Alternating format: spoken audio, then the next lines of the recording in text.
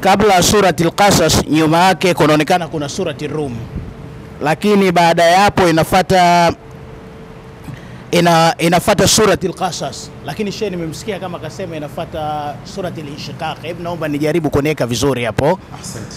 Lakini kipengele cha pili umesema sura aya 11 za kwanza zimeshuka Madina, inaonekana kwamba kuna aya nyingine zimeshuka Maka. Sasa nitaka unitajie kigezo gani tunaweza tukabaini sura ya Maka na sura ya Madina.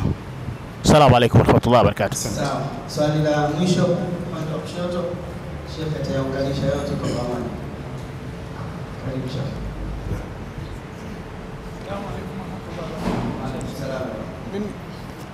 Mimi swali langu ni kwa shekhe.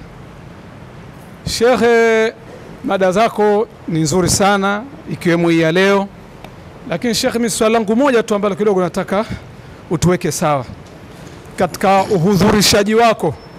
Kuna zile kauli kidogo ambazo tunaweza tukasema kama labda kidogo watu wengine wanaona kama zina ukakasi, kwa mfano kama hivi kubanduana, kubanduliwa na kadhalika, mambo kama haya. Sasa kwa kupitia labda jukwaa hili, labda pengine utufaidishe jinsi gani, kwa nini, labda kuna mantiki gani unapenda kutumia live moja kwa moja kubanduana, kubanduliwa, labda kusiwa na kauli nyingine kidogo yenye kuleta kidogo staha staha fulani. Haya, maswali hayo shekhe ameyasikia na atayajibu inshallah. Karibu shekhe. Kuhusu suratul Inshiqaq ni kwamba uki qasas kuna ankabut alafu inafatia. Kwa nini zime kwamba ankabut imeteremka baada ya Rum, alafu baada ya Rum ilikuja ikateremka suratul Inshiqaq, sio kwa mpangilio wa zile sura, ni namna zilivyokuwa zikiteremshwa kwa Mtume sallallahu alaihi wasallam kulingana na haja ilivyokuwa. Umenielewa vizuri hapo? Na zile aya 11 Ali bin Abi Talib kama walikuwa hai amesema hivi, aya 11 zile ziliteremkia kati ya Maka na Madina, na maana Mtume alikuwa njiani. Sasa Ali bin Abi Talib radhiyallahu anhu hakutaja ilikuwa ni wapi. Hapo mpaka hapo umenielewa? Sawa. Swali lake la kwanza katika kuhudhurisha, sawa, maswali mawili sio? Swali la kwanza eh, katika kuhudhurisha kwamba uhudhurishaji wako yale maneno yanakuwa na ukakasi, yanakuwa na ukakasi kwa sababu dunia yenyewe ina ukakasi. Kwa hiyo nazungumza nao kiukakasi, watanielewa kiukakasi,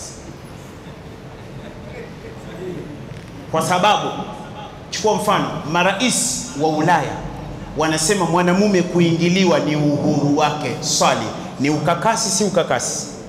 Naye kama rais wa nchi ni sahihi kuzungumza yale? Nyewe mnasemaje? Naam, akizungumza vile vile vile ni ukakasi si ukakasi? Sasa huyu kumfikishia naye ni ukakasi, sawa? Kwa sababu wanasema mnajua Sweden umecho- ime- umechomwa Qur'an. Mmesikia? Qur'ani simechoma Sweden na imekanyagwa. Sawa? Mmesikia dunia imesema nini mpaka leo? Naam. Lakini lingetokea tukio si wanasema ni ugaidi. Qur'ani imechomwa. Sema ukweli, mtu kuchoma Qur'an, ile damu ya imani ya la ilaha illa Allah unaisikiaje? inakera na ukifanya mchezo unaweza ukasema liwalo na liwe, tutajuana kwa Allah. Lakini sawa, wamekaa kimya. Sasa Ulaya wameshatangaza kwamba maana ni uhuru wa mtu kuingiliwa kinyume na maumbile, sawa, ni uhuru wake. Huyu mtu ni kiongozi wa nchi, anazungumza haya, mimi raia nizungumze vipi? Sasa huyu naomba haya maneno niliyozungumza leo yatafsiriwa apelekewe huko huko aliko, ajue kwamba kuna kijamaa kimoja kiafrika kimoja cha ovyo ovyo kimemjibu hivi. Neno kubandua, Watanzania ndio wanaelewa. Ukimwambia Mtanzania jamaa analiwa, automatically anajua analiwa wapi. Sawa? Kwa hiyo sio ukakasi wa mwanangu siku nyingine unafikisha maneno sawa, kulingana na namna ilivyo. kulingana na neno. Siku moja Mtume alizungumza, la taqumu saa, kiyama haitosimama hata takthura, mpaka itakapoongezeka. Akalitumia neno masahaba hawakulijua, ilikuwa ni neno lizito. Sasa akamwambia ya Rasulullah, akamwambia alqatlu alqatlu, watu watachinjana, watachinjana. Sawa. Sasa kuna sahaba mmoja siku moja alikuwa amevaa nguo ambayo Rasulullah hakuipenda rangi yake, akamwambia umevaa nguo ya, nani? Mbona umevaa nguo kama rangi ya mama yako? Sasa unasemaje? Ni ukakasi? Sio ukakasi? Sasa mnasemaje? Ni ukakasi. Kwa mfano kumwambia mshikaji wako, oya mwanangu, wewe mbona unasuka nywele? Hiyo ni ishara udemu, ili akuelewe kwamba hiyo tabia sio nzuri. Bado ukimwambia ni ishara ya udemu, maana yake ni nini? Amekuelewa sawa?